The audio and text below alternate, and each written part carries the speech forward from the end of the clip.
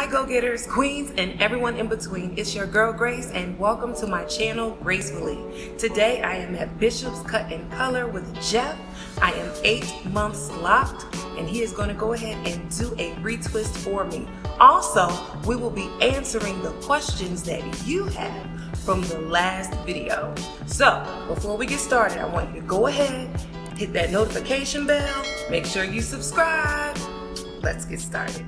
All right, everyone, here's Jeff. Hey, how y'all doing? I just saw Grace's hair and I am so in love with it. I want my hair to be like this when it grows back. Look at this, y'all. She has really pretty results. Her hair is pretty much locked, you guys.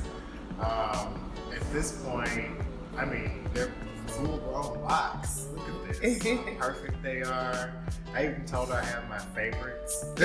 I was like, look at this one. It's so pretty. But y'all had questions for us, and I met quite a few of the fans Uh, yeah. of the channel. I told her I was walking through Whole Foods. Hey, Hey, Opals. walking through everywhere, and I saw people, and they mentioned that they saw me on Grace's channel. Um, don't be afraid to come up and say hi and ask questions. I'm still located at Bishop's Cut and Color. So what we're gonna do today, uh, we decided with Grace's hair that we're just going to lock the new growth. And the reason being is we do actually like the volume in her hair. I love the volume. Yes. I personally do not like flat, flat hair. I like shaved hair too. So gonna go through and do a wash real quick. I'm gonna do two washes and I'm gonna condition a little bit because we wanna keep the scalp still maintained. And then we're gonna go from there. All right, sounds good. We'll be right back. All right, so he just finished washing my hair and he's starting to retwist. All right, so now we're gonna start the question and answer portion. I'm so excited because we got these questions from you, the go-getters. So here we go. The first question is from Fierce and Free. I am almost two months into my lock journey. I'm loving my experience, but what can I use on my scalp for dandruff? I only use oil on my scalp, no products. only use oil on your scalp. So here's the thing about only using oil on your scalp. The thing is, is if you only use oil, if you put oil on top of water, what scientifically happens is that does not um, to the water. So you're taking out all the moisture from your scalp, just putting only oil on your scalp. So you want to make sure that you put something back in that's moisture in it, like a hydrated cream. It might have an oil in it, or maybe it might have a, um, there's so many things with aloe or avocado that you can put onto your scalp. So always keep in mind, if you take oil and you sit it on top of water, it's just gonna break into little circles and particles. It's not gonna adhere into the water. So you do want moisture.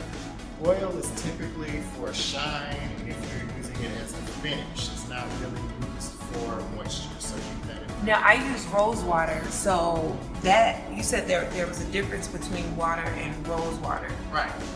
Rose water actually is going to be more of an astringent. Yeah. So it's going to cleanse the scalp more. So you can use the rose water to go in to the scalp, say if you have a buildup or something. Also keep in mind with those type of natural products, some things have more higher pH levels and more alkalinity than others. So you're going to dry out as opposed to adding more moisture. So keep that in mind when you're using things like, um, let's say lemon juice. You never want to put that in your hair because that's going to raise the uh, alkalinity in your hair. And it's to keep going and keep going and never stop. Always, that's the same thing as like if you were using a relaxer and not neutralizing. So you got to think of it in that way. So as far as her dandruff is concerned, is there anything that you recommend for dandruff? I would say get a good clarifying shampoo for the dandruff. Also, keep in mind, it's always good to make sure that you're getting your scalp checked by a dermatologist. This goes into um, care of the scalp. Stylists, we can't recommend every single thing. We can only do the manicure, and we can only do, I guess you could say, just the health. But when it comes to skin, you always want to make sure that you're going to the dermatologist to make sure that you're not having an overproduction of, uh, let's say, flaking in the scalp. It could be something you're eating, it could be something that you're intaking. So I always recommend you to go to a doctor if you feel like it's just too much. Um, another thing is if you have a stylist that isn't telling you that type of thing, then I'd be a little bit concerned because again, we're not physicians, we're hair hairstylists, we're not, uh, what do they say, uh, magical people. we're actually hairstylists. Right. So we can only tell you so much when it comes to the health of skin, but we can tell you, hey, if feel like this has been a problem you've had for a while, it couldn't be anything. I had a client that had an allergic reaction to avocado, and what exists in those products is avocado. So when we removed, when I told her, hey, go get checked up and see if you have an allergy, she went and checked, it was an allergy. So we removed all of that out of her products, and now her hair is growing long and healthy. So it's those type of things you want to keep in mind. So hair is only goes so far that we can tell you because can't physically go in and scrape and test, you want to make sure that you're doing those little extra things in between seeing your stylist. And that's how you're gonna um, find a good stylist is somebody that's gonna tell you the truth and be like, hey, I noticed you have this problem. I can't tell you that this is dandy. So what I can tell you though is I think you should go get it checked and then you can come back to me and then we can talk about what's gonna be best for your scalp. Sounds great. Mm-hmm. Hope we answer your question fierce and free. Yeah. The next two questions are about color. So the first question is from Reese Sai, who says, "When can you color your hair with starter locks?" And Satorially Black asked, "So my question to Jeff is, I have never ever colored my natural hair. I'll be seven weeks locked now on Monday, and I'm possibly wanting to color my locks, but I'm really nervous. At what month is the best month to color my locks?" I've been told six months, but I just want to make sure. I don't want to interrupt the lock-in process. The amount of time in which they're telling you to lock your hair, which is six months, is actually the correct time. And the reason being is because that lock hasn't had enough time to actually lock.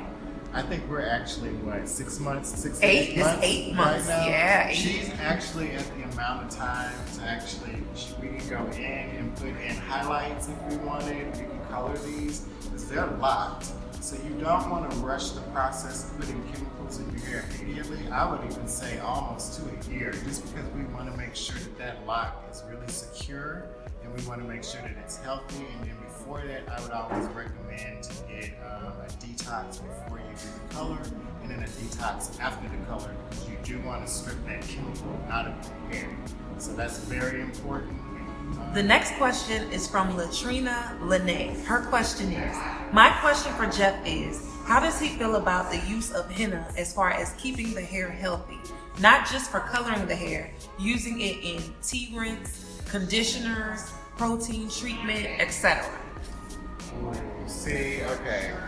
Everybody has their opinion about henna. Me personally, uh, henna was used as a dye on clothes. So, me being a colorist, I do not recommend using henna in the hair, and this is why. That's another product that's going to raise the alkalinity in hair and not stop. And also, if later on in the future you decide that you don't want to have uh, dark black hair or you decide you don't want to have brown hair, when you go to a color specialist, we cannot uh, remove henna out of the hair with um, hydrogen peroxide because the two combust and they explode and the hair melts off. Wow. And that's just what happens. A lot of people don't know that, or it could be a possibility that it will turn I've seen it happen before. Wow. So I would not recommend you putting henna in your hair, and it is not used for. Um, it's, it wasn't originally used for dyeing hair. People do use it because they want to be more natural. But if you do that, I would suggest stick with that and do not decide to go blonde or any other color after that. Because if you do and you don't tell us, and you come to us and we put chemical in your hair, it's just gonna melt right off. And that's just what happens.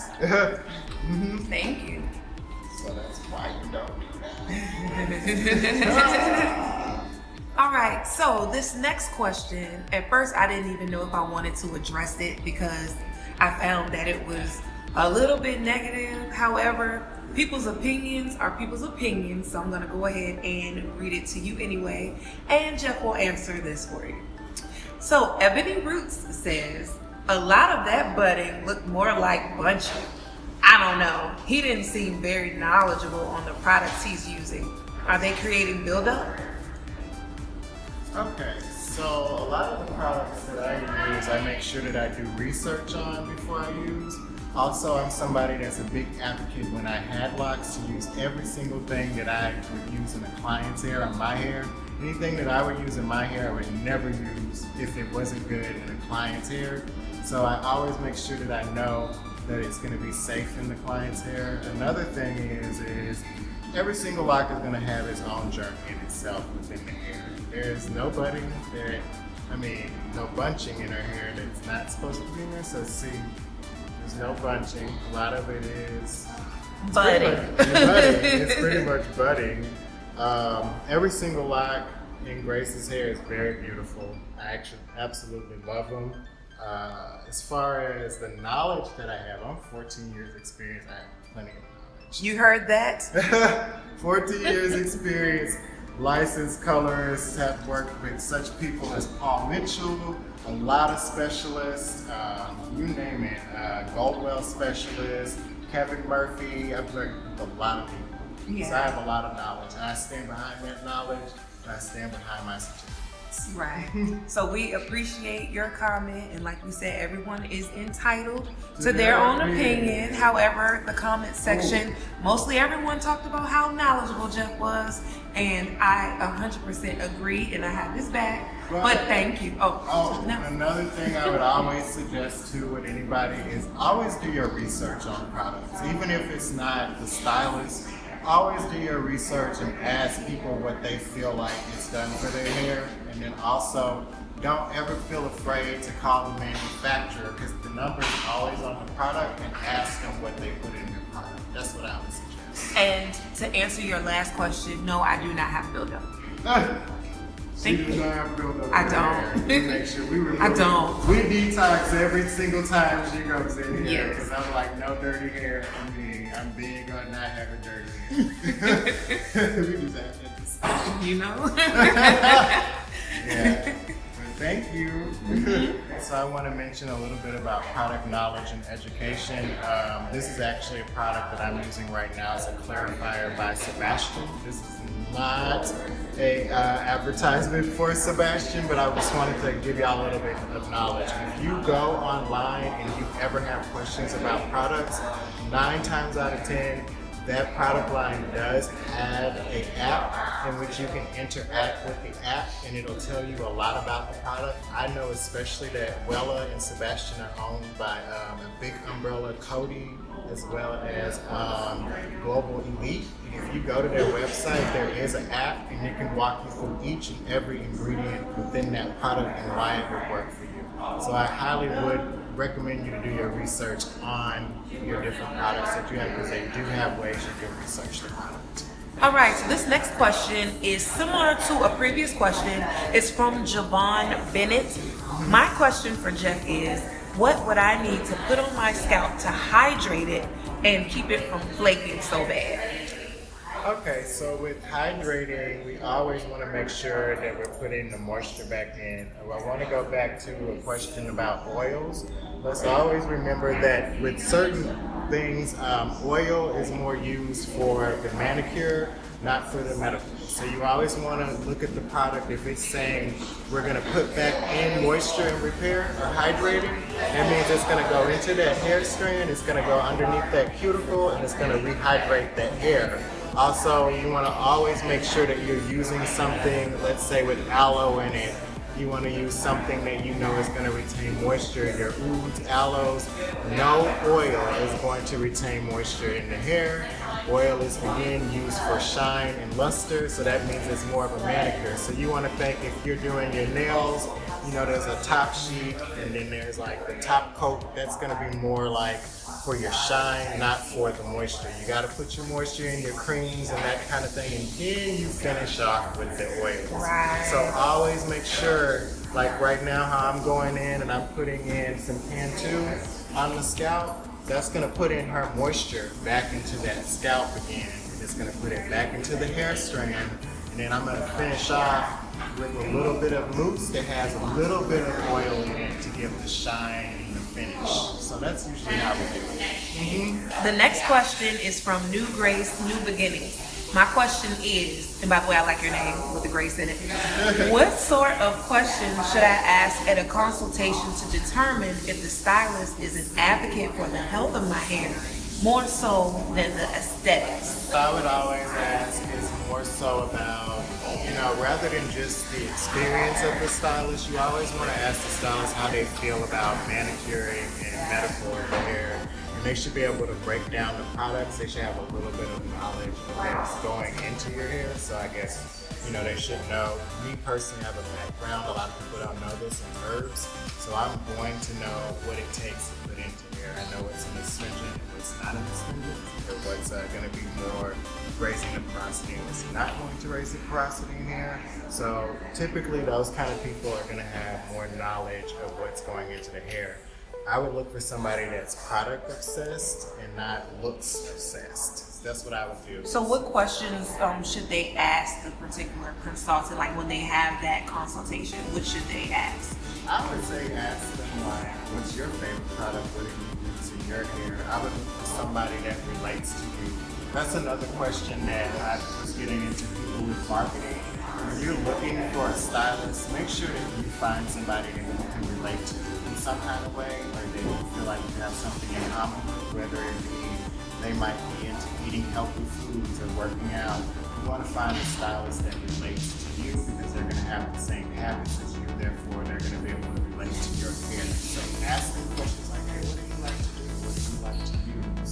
What type of scents do you like to use? Certain people don't work, certain things don't work with certain people, certain scents, certain people don't like fragrances same thing roses might be pretty for some people, whereas they might be somebody died to other people. Right. So you gotta, you know, really create somebody that you can relate to, and then also you want to pick somebody that uses the type of stuff you would use in your hair. You get what I'm saying? Because I would go to somebody that's gonna uh, that has thick back, thick, thick gelled up hair. I don't want right. thick, thick gel gelled up hair. you know, I want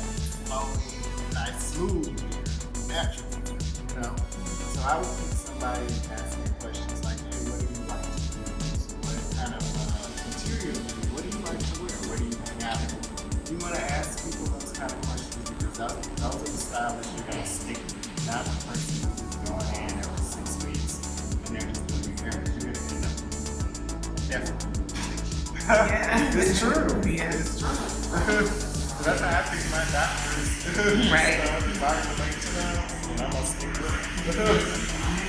This next question actually came from a different video, but I told them that we would answer this on this video. And their name is babygirl075. They said, hi, I want to lock my hair, but I want to try two hand, um, two hand twist maybe. What do you use on your hair? My hair is naturally curly, not sure if I should do coils or two strand twists. I'm also going to start with about the same length you did. I'd love to know what product you use on your hair. I do know I had a reaction to tea tree oil. Please help. Ooh, I like this question because it kind of goes back to all the other questions that we had about products earlier and what I just said about, you know, what you what works for one person isn't going to work for everybody else. Um, another thing is, is the two strand twist I'm not opposed to doing. It's just later on, you might have to go through and get some tightening done, which means you might have to have a little bit of an add-in around with some extra hair. You might have some crocheting you have to do down to tighten up that two strand. Um, I'm not opposed to doing it. I've done it on a few people and they love it. I feel like you get a thicker result depending on your wave pattern and your curl will depend on what type of lock you should start with.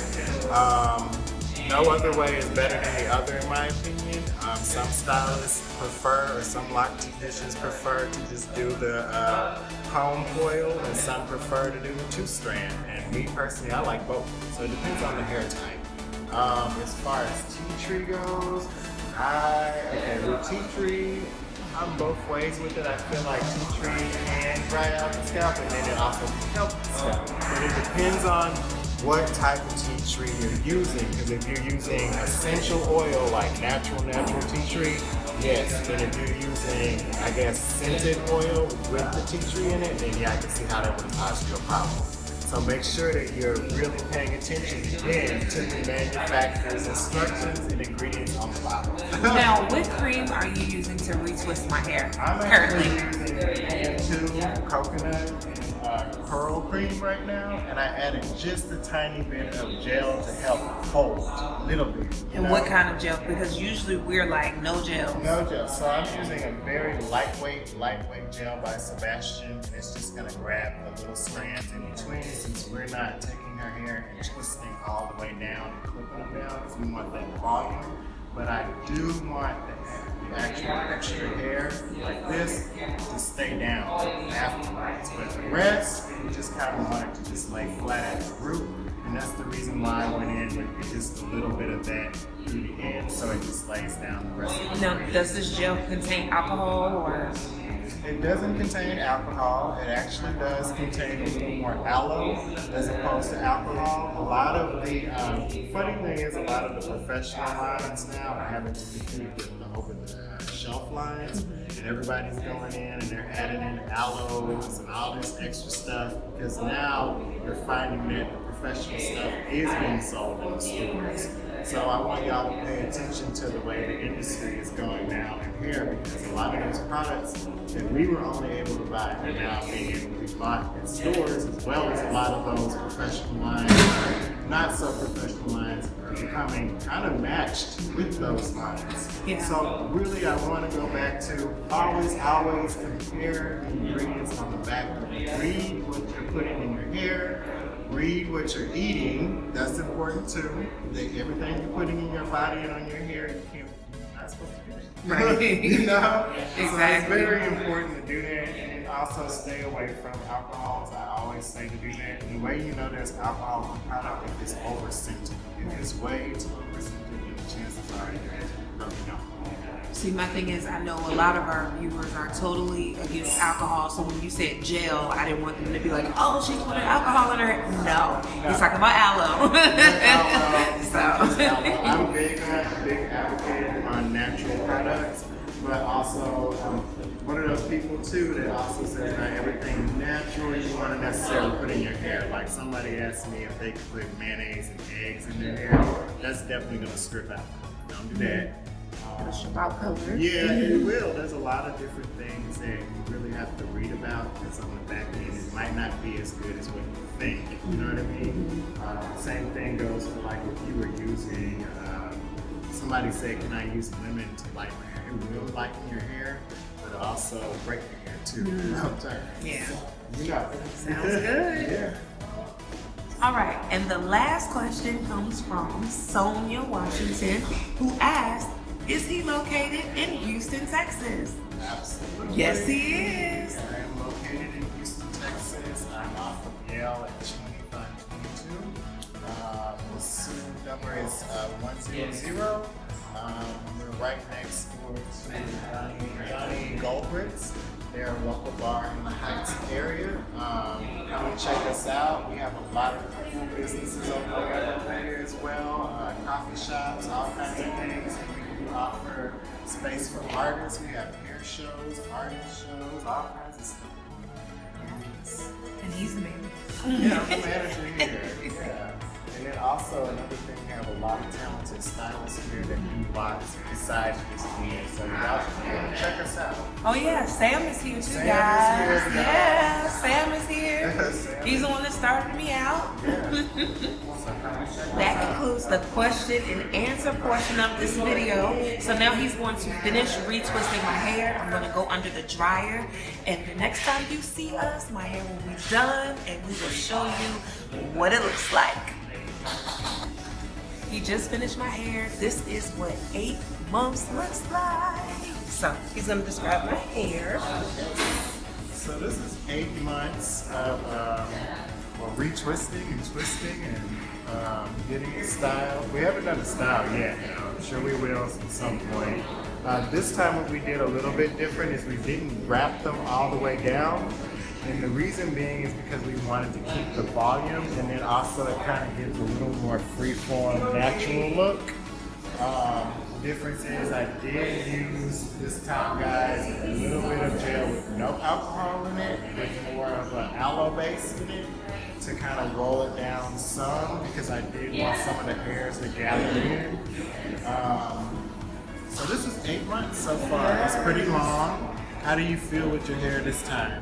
I love it. Oh, it feels great. It feels light. A lot better. And yeah, it feels light and fluffy. And I love it. Like I like it this way too. It feels like you said a little more natural, even though the whole thing is natural anyway. But it does. Oh, I'm loving the texture of my hair.